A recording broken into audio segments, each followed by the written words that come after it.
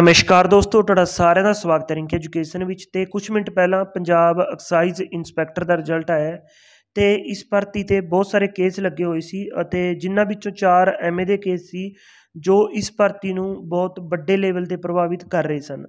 ਤੇ ਬੋਰਡ ਦੁਆਰਾ ਆਪਣੀ ਸੂਝ-ਬੂਝ ਨਾਲ ਇੱਕ ਫੈਸਲਾ ਲਿਆ ਗਿਆ ਹੈ ਅਤੇ ਇੱਕ ਐਪਲੀਕੇਸ਼ਨ ਲਾਈ ਗਈ ਕਿ ਜੋ, ਤੁਸੀਂ ਪਹਿਲਾਂ, ਸਭ ਤੋਂ ਪਹਿਲਾਂ ਇਹ ਰਿਜ਼ਲਟ ਦੇਖੋ।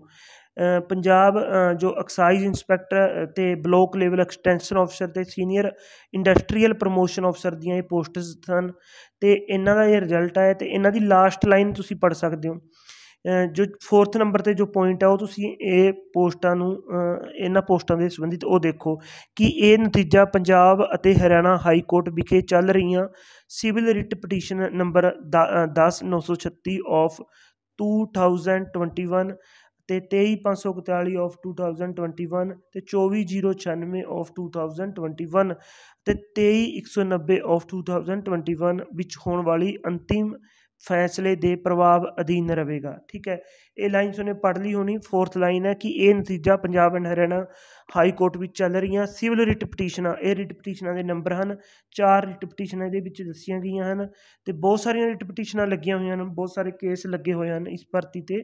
ਬੇਸਿਕਲੀ 4 ਐਮ ਦੇ ਕੇਸ ਸੀ, ਜਿੰਨਾ ਕਰਕੇ ਭਰਤੀ ਤੇ ਪ੍ਰਭਾਵ ਹੋ ਸਕਦਾ ਸੀ। ਇਹ ਭਰਤੀ ਦਾ ਰਿਜ਼ਲਟ ਹੈ ਉਹ ਬਹੁਤ ਲੇਟ ਪੈ ਸਕਦਾ ਸੀ ਜਿਨ੍ਹਾਂ ਵਿੱਚੋਂ ਇਹਨਾਂ ਚਾਰ ਇਹਨਾਂ ਨੂੰ, ਜੋ ਇਹਨਾਂ ਦੇ ਰਿਜ਼ਲਟ ਹੈ, ਉਹਨਾਂ ਦੇ ਥੱਲੇ ਲਿਖ ਦਿੱਤਾ ਗਿਆ ਹੈ, ਠੀਕ ਹੈ? ਅਤੇ ਇਹ ਹੁਣ ਭਰਤੀਆਂ, ਜੋ ਵੀ ਫੈਸਲਾ ਹੋਊਗਾ, ਉਹ ਇਹਨਾਂ ਦੇ ਲੱਗੂਗਾ ਅਤੇ ਇਹ ਜੁਆਇਨਿੰਗ ਵੀ ਹੋਣਗੇ, ਇਹ ਸਾਰੀਆਂ ਚੀਜ਼ਾਂ, ਇਹ ਭਰਤੀ ਜਿਉਂਦੀ ਤਿਉਂ ਚੱਲੂਗੀ, ਠੀਕ ਹੈ? ਇਹਨਾਂ ਦਾ ਜੋ ਪ੍ਰੋਸੈਸ ਹੈ, ਜੋ ਵੀ ਅੱਗੇ ਇਹਨਾਂ ਦਾ ਰਹਿੰਦਾ ਪ੍ਰੋਸੈਸ ਹੈ, ਉਹ ਚੱਲੂਗਾ, ਠੀਕ ਹੈ? ਇਹ ਜੋ P triple S B board ਦੁਆਰਾ ਇਹ ਇੱਕ ਐਪਲੀਕੇਸ਼ਨ ਲਾ ਕੇ ਸੁਪਰੀਮ ਕੋਰਟ ਵਿੱਚ ਇਹ ਕਿਹਾ ਗਿਆ ਕਿ ਇਹਨਾਂ ਭਰਤੀਆਂ ਨੂੰ ਪੂਰ ਕਰਿਆ ਜਾਵੇ। ਜੋ ਵੀ ਫੈਸਲਾ ਹੋਊਗਾ Punjab and Haryana high court ਦਾ, ਉਹ ਇਹਨਾਂ ਭਰਤੀਆਂ ਤੇ ਜਿਉਂ ਦੀ ਤਿਉਂ ਮਾਨਿਆ ਹੋਊਗਾ। ਠੀਕ ਹੈ? ਮੀਨਸ ਕਿ ਜੇ ਰਿਟ ਪਟੀਸ਼ਨ ਜਿਨ੍ਹਾਂ ਨੇ ਲਾਈ ਹੈ ਪਟੀਸ਼ਨਰ ਨੇ ਉਹਨਾਂ ਨੂੰ ਕੋਈ ਵੀ ਰਾਹਤ ਦਿੰਦਾ supreme high court Punjab and Haryana high court ਤਾਂ ਅਸੀਂ ਵੀ ਆਪਣੀਆਂ ਇਹਨਾਂ ਪੋਸਟਾਂ ਵਿੱਚ ਉਹਨਾਂ ਨੂੰ ਰਾਹਤ ਦੇਵਾਂਗੇ ਠੀਕ ਹੈ? ਅ, ਤੇ ਈਟੀਟੀ 6635 ਦੇ ਨੂੰ ਲੈ ਕੇ ਘੱਟੋ ਘੱਟ ਮੈਂ 20 ਵੀਡੀਓ ਬਣਾਈਆਂ ਹਨ। ਕਿ ਪੰਜਾਬ ਵਿੱਚ ਦੇਖ ਲਓ ਹਰਿਆਣਾ ਵਿੱਚ ਦੇਖ ਲਓ ਇੰਡੀਆ ਵਿੱਚ 28 ਰਾਜ ਹਨ ਠੀਕ ਹੈ? ਜੰਮੂ ਅ, ਤੇ ਲਦਾਖ ਨੂੰ ਜੰਮੂ ਕਸ਼ਮੀਰ ਐਂਡ ਲਦਾਖ ਕੇਂਦਰ ਸ਼ਾਸਤ ਪ੍ਰਦੇਸ਼ ਨੂੰ ਛੱਡ ਦਿੰਦੇ ਹਾਂ ਤਾਂ 28 ਫੁੱਲ ਫਲੈਜ ਰਾਜ ਹਨ ਇੰਡੀਆ ਵਿੱਚ, ਠੀਕ ਹੈ? 28 ਰਾਜਾਂ ਦੇ ਤੁਸੀਂ ਰਿਜ਼ਲਟ ਦੇਖ ਲਓ, ਜੋ ਵੀ ਜੋਬਸ ਦੇ ਰਿਜ਼ਲਟ ਆਉਂਦੇ ਹਨ, ਤੁਹਾਨੂੰ ਇਹ ਲੈਣ ਹਰ ਰਿਜ਼ਲਟ ਵਿੱਚ ਦੇਖਣ ਵਾਸਤੇ ਮਿਲੂਗੀ, ਠੀਕ ਹੈ? ਇਹ ਨਤੀਜਾ Punjab and Haryana high court ਵਿੱਚ ਚੱਲ ਰਹੀਆਂ ਰਿਵਿਊ ਪਟੀਸ਼ਨਾਂ ਦੇ ਅੰਤਿਮ ਪ੍ਰਭਾਵ ਦੇ ਅਧੀਨ ਰਹੇਗਾ। ਹਰ, ਤੁਹਾਨੂੰ ਹਰ ਜੋ ਵੀ ਰਿਜ਼ਲਟ ਹੋਊਗਾ ਫਾਈਨਲ ਰਿਜ਼ਲਟ ਉਹਦੇ ਹੇਠਾਂ ਇਹ ਮਿਲੂਗੀ ਤੇ ਲਗਭਗ ਹਰ ਭਰਤੀ ਦੇ ਜੋ ਆਫਰ ਲੈਟਰ ਮਿਲਣਗੇ, ਉਹਨਾਂ ਦੇ ਥੱਲੇ ਇਹ ਮਿਲੂਗੀ, ਠੀਕ ਹੈ? ਤੇ ਈਟੀਟੀ 6635 ਭਰਤੀ ਦੇ ਥੱਲੇ ਨਹੀਂ ਲਿਖਣ ਦਾ ਕਾਰਨ ਹੈ ਕਿ ਉਹ ਭਰਤੀ ਰੁਕ ਚੁੱਕੀ ਹੈ, ਠੀਕ ਹੈ। ਅਗਰ ਚਾਹੇ ਸਾਡੀ ਯੂਨੀਅਨ ਦੁਆਰਾ, ਚਾਹੇ ਪੰਜਾਬ ਜੋ ਐਜੂਕੇਸ਼ਨ ਰਿਕਰੂਟਮੈਂਟ ਬੋਰਡ ਹੈ ਐਜੂਕੇਸ਼ਨ ਰਿਕਰੂਟਮੈਂਟ ਬੋਰਡ ਹੈ, ਉਹ ਲਿਖਾਉਂਦੇ ਠੀਕ ਹੈ। ਮੀਨਸ ਕਿ ਮਾਨਯੋਗ ਹਾਈ ਕੋਰਟ ਨੂੰ ਜੇ ਇਹ ਆਗ੍ਰਹਿ ਕਰਦੇ ਕਿ ਇਹ ਲਾਈਨ ਲਿਖੀ ਜਾਵੇ ਤੇ ਭਰਤੀਆਂ ਨੂੰ ਪੂਰ ਕਰਿਆ ਜਾਵੇ ਤਾਂ ਹੋ ਜਾਂਦੀ, ਠੀਕ ਹੈ। ਮੇਰੇ ਹਿਸਾਬ ਨਾਲ ਤੁਸੀਂ ਸਮਝ ਗਏ ਹੋ ਕਿ ਮੈਂ ਕਹਿਣਾ ਕੀ ਚਾਹ ਰਿਹਾ।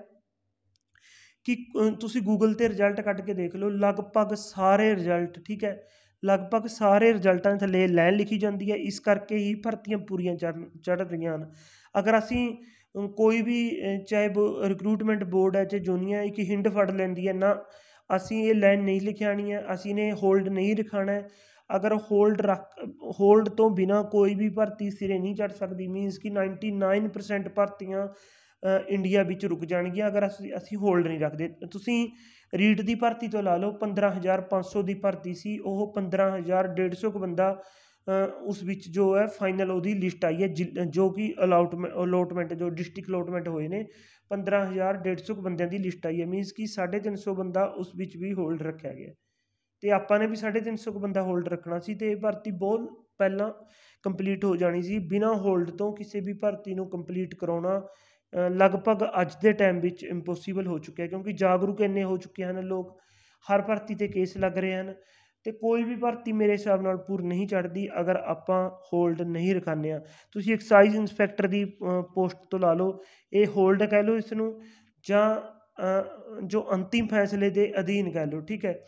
ਤਾਂ ਆਪਾਂ ਕਹਿ ਸਕਦੇ ਹਾਂ ਕਿ ਸਾਰੀਆਂ ਭਰਤੀਆਂ ਐਵੇਂ ਹੀ ਪੂਰ ਚੜ੍ਹਦੀਆਂ ਹਨ ਅਤੇ ਇਟ ਟੀ ਛਾਹਠ ਪੈਂਤੀ ਪੂਰ ਨਾ ਚੜ੍ਹਨ ਦਾ ਕਾਰਨ ਹੈ ਹੋਲਡ ਨਾ ਰਖਾਉਣਾ ਭਰਤੀ ਨੂੰ Punjab and Haryana high court ਦੇ ਅੰਤਿਮ ਫੈਸਲੇ ਦੇ ਅਧੀਨ ਨਾ ਕਰਨਾ ਸਾਡੇ ਵੱਲੋਂ ਇਹ ਐਪਲੀਕੇਸ਼ਨ, ਸਾਡੇ ਡਿਪਾ, ਐਜੂਕੇਸ਼ਨ ਡਿਪਾਰਟਮੈਂਟ ਵੱਲੋਂ ਇਹ ਐਜੂਕੇਸ਼ਨ ਨਾ ਲਗਾਈ ਜਾਣ ਦੇ ਕਾਰਨ ਅੱਜ ਇਟ ਟੀ ਛਾਹਠ ਪੈਂਤੀ ਭਰਤੀ ਕੋਰਟ ਕੇਸਾਂ ਵਿੱਚ ਰੁਲ ਰਹੀ ਹੈ, ਠੀਕ ਹੈ?